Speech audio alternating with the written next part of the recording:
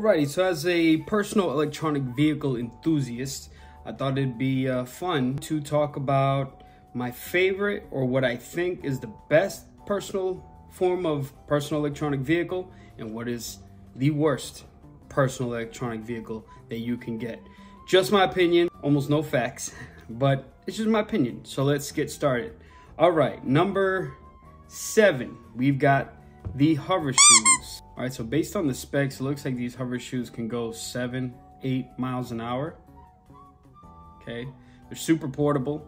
They look neat, but mm, I think they'd have a lot of trouble going over cracks. I think that would be neat in an office if you work in a very large office space. Um, you know, maybe getting around. I, I wouldn't even say getting around campus. That wouldn't even be good because again, sidewalks have cracks. I don't see a lot of use for these, so right now they are going to be ranked seven. At number six, I'm going to put the Segway. Well, the Segway. There's a lot of different, uh, well, a few different models of Segway.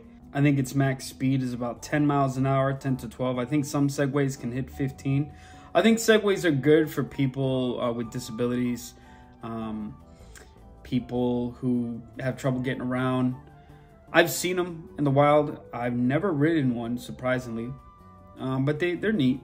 Uh, they're pretty portable, um, and they're again there's different kinds. I've never seen them on a group ride. I've just seen them randomly.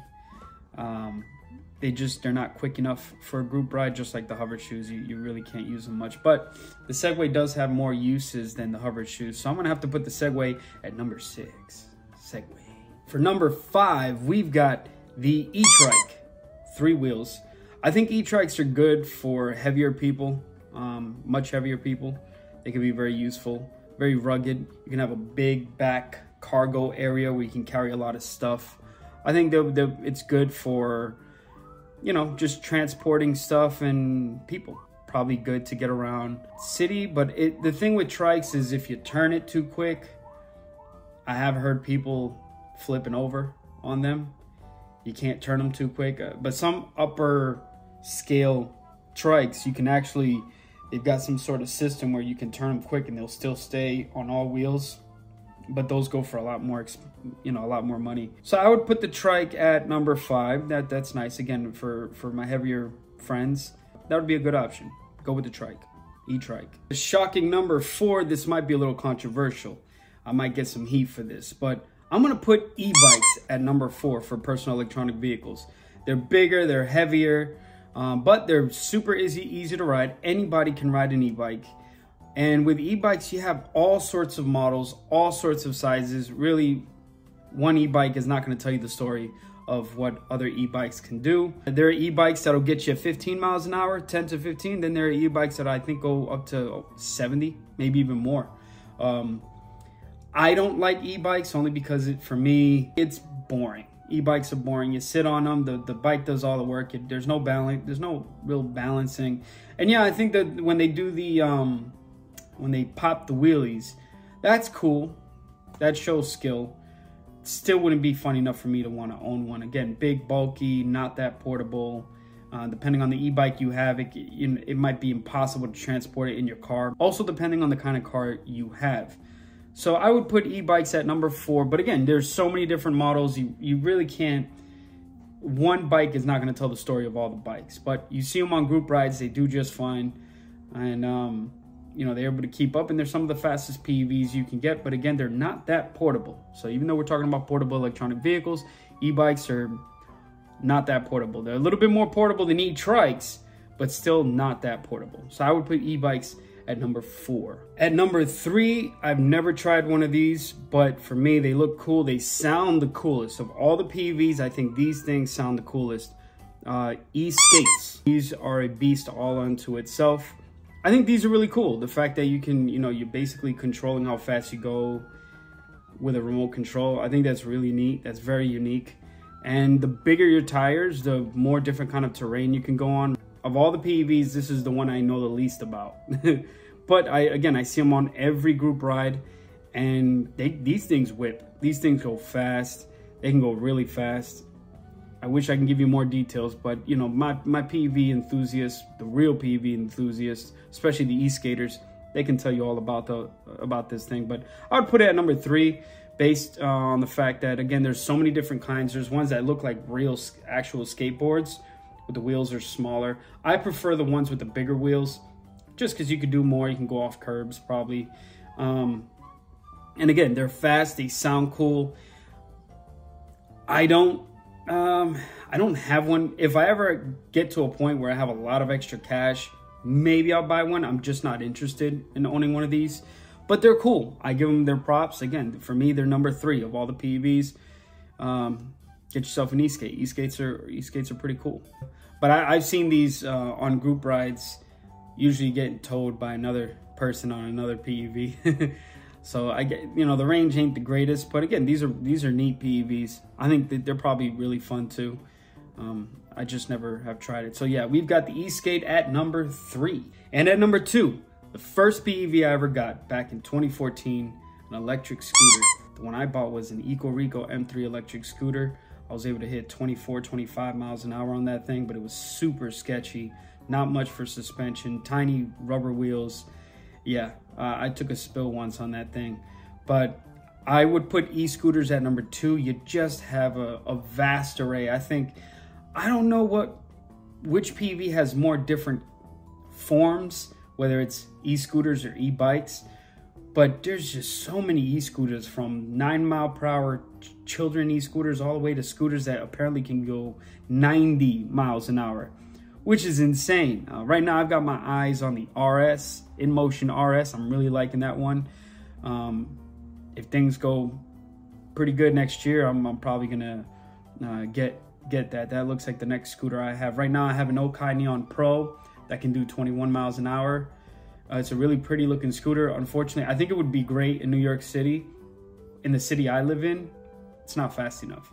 I need, you know, uh, luckily the Segway GT1 that I own is fast enough.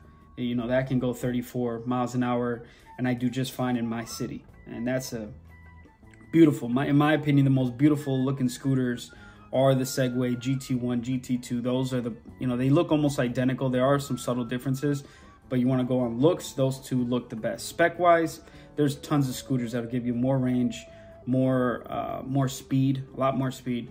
But those Segways are really nice, and they've gotten to a price where it's actually reasonable.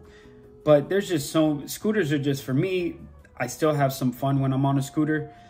They're just really amazing. Again, there's so many different types of scooters that there's really you can have a scooter with a seat you can have a scooter without a seat you can put a little bit of a little tiny cargo rack in the back i've seen people put giant speakers on these things uh, scooters are just really amazing and i see a whole diverse and when i say diverse i'm not talking about race i mean men women boys girls you know adults children just that would be boys and girls and men and women but you just see all kinds of people riding scooters and they're a great entry to PEVs. They're pretty portable, much more portable than a bike.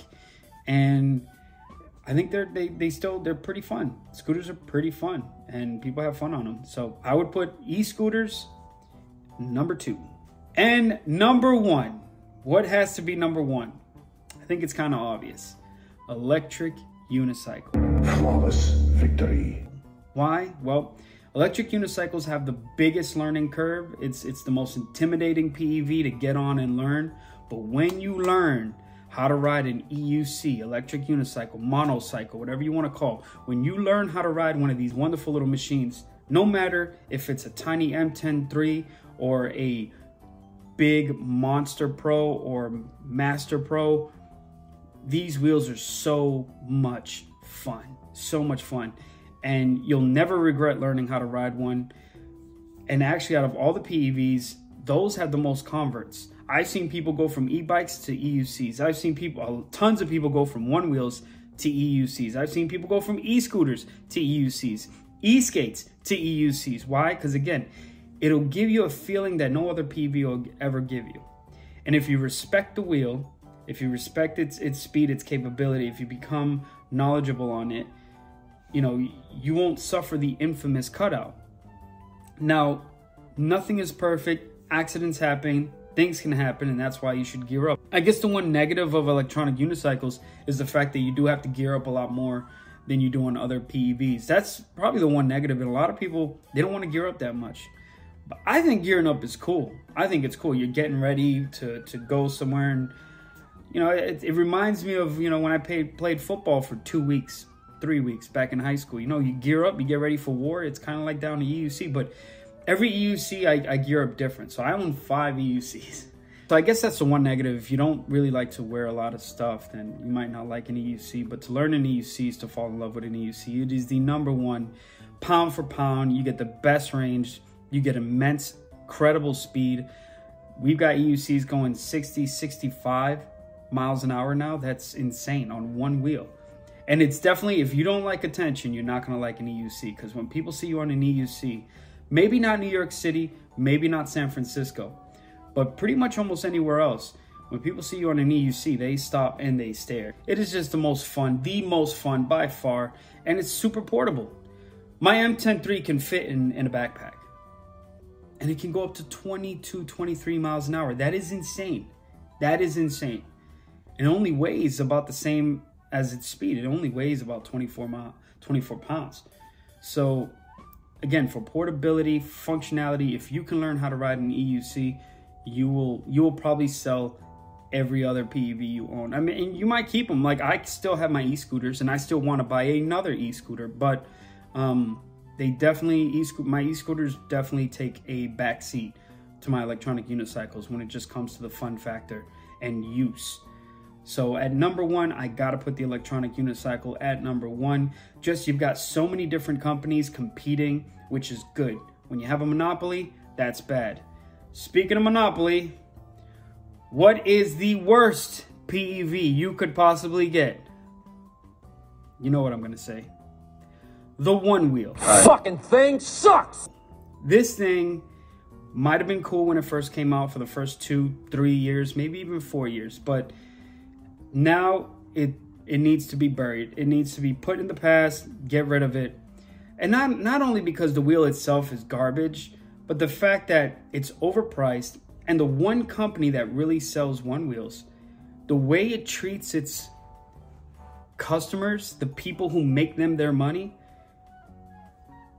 is just atrocious. It's atrocious. And there's videos you can see. Louis Rossman is one of them. There's other people have made videos on how and I'll say FM because the company I've heard are they're very litigious. And even though I'm a nobody with a tiny, tinky, tiny YouTube channel, who knows? I might get a letter in the mail saying, "Hey, don't talk about our product." But you know, let's just say FM, the way they treat their customers.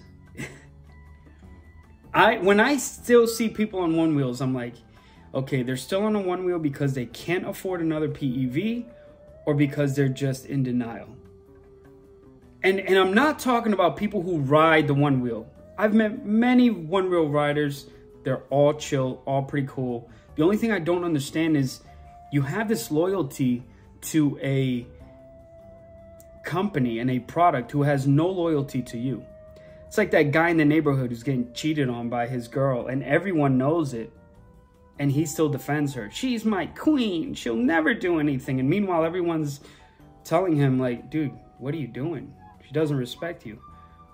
That's how I look at one wheel owners. like like the company that you're you're putting money into their pockets, they don't give a damn about y'all. They don't care. They you know, they're you had a fight for right to repair. They sue a company helping the cuz they they ain't try to work with the little company that I heard there was a little company in New York that was making batteries um, to help people who had fried batteries on their one wheels or just had battery issues. And FM comes in and right for the jugular, sues them. No, you can't help our customers. Only we can help our customers. And when we do, we're going to charge them an arm and a leg. And then you don't notify also, again, a lot of this information I've, I've seen on other YouTube videos. If you unplug the battery, the wheel breaks on you. Then you got those one wheels that are just ghost you. Not to not to mention, I think more people have died on one wheels than any other PEV. Maybe e-bikes and e-scooters can be close to that. But the thing with e-bikes and e-scooters is it's usually when when they pass away, it's the rider's fault usually, typically, just riding crazy or. But on one wheels, it seems like anyone can over torque those things. Anybody can can overpower. That's the word. Anyone can overpower a one wheel. Um, and one thing that really made me want to talk about this is I noticed there's this one YouTube channel that um, that I like. Uh, it's freshly charged, I believe, and they used to be somewhat critical of the one wheel. Then they had a meeting with the people over at FM, and ever since that meeting, they've been saying really nice things about the one wheel, and I'm just it, it's kind of cringy because if you look at the comments, no one's agreeing with it. They're like, "Oh, here's the overpriced pint, and then here's the overpriced GT this, and now you got this new wheel. It's better than the last wheel." Okay, so I just shell out, I just shelled out three thousand dollars, and now you're telling me that I should get rid of that and get this new one, so spend another three, four thousand dollars. Like, I just don't understand one wheelers who deny the fact that the company that you put money into their pockets, they treat you like absolute garbage. It's a monopoly. There's no competition. And I know there's the float wheel now and another one maybe that's kind of creeping in. But even the form factor, yeah, it's pretty portable. But the fact that they can just dump you, I call them collarbone breakers. And and this has become a this video is going to be half ranking, half crapping on the one wheel because I still see one wheels showing up to group rides, and sadly, they almost, they literally never make it to the end. On my personal group ride that I host, they can make it because my group ride is super family friendly. The Worcester Takeover, that's anybody can ride in that. That's super family friendly. But on any other group ride, these guys are getting left behind. They don't have the range, they don't have the speed. And when you see accidents, like if you look at the Boston Invasion videos, if you see any accidents, it's probably going to be a guy on a one wheel flipping over and falling. I mean, these those little, I think they suck. I, I really do think the one wheels suck. And, and again, this is not towards the people who ride one wheels. I think you all are awesome and you should upgrade to a real PEV like an e-skate, an e-scooter, an e-bike, an EUC, um, maybe even a hoverboard. Just kidding. but I just don't, I, I don't agree. I, customer service is a very big thing for me. And when you treat the people who put money into your pockets, when you treat them as badly as FM has treated its customers, why anyone would continue to put money in their pockets is beyond me. And I know for a fact FM put some money. They, in my opinion, I can't say fact because I wasn't there, but I'm almost positive that FM put some money, money in freshly charged pockets and was like, just can you talk nice about us, please, please? Because their reviews are just kind of weird. They, they, I seen this one review today where the one wheel is even the new one that just came out is still kind of struggling to get up a hill that my Mten3 baby wheel, four year old child wheel, can do with no problem. So please, PEV riders who still are on a one wheel, do yourself a favor. Upgrade. Upgrade to a real PEV. Again, e-bike, e-scooter, e-skate, EUC. Get yourself something. And at least there's different companies, there's competition. They won't try to stiff you and they're not trying to take, obviously they want your money, but they're not going to try to rob you basically, which is what FM has been doing to its very loyal customers. So, you know, hopefully y'all get with the times and dump that thing. So one wheel is the worst PEV, the most garbage PEV, based because it's overpriced and you could save thousands of dollars on other PEVs that will have better specs. One PEV that I forgot to mention was the hoverboard. What the fuck is this piece of shit? Um, what can I say? I, I think it's a it's kind of a neat kid's toy. I think it's kind of neat to get around. But I, I think I would rather actually have a ho the hover shoes than the hoverboard. So I would put the hoverboard at number eight, actually, and then the one wheel be a number nine, the worst. okay, but anyway, so that is my rankings of PEVs from let's say nine to one. Electronic unicycle for the win, and I'm out.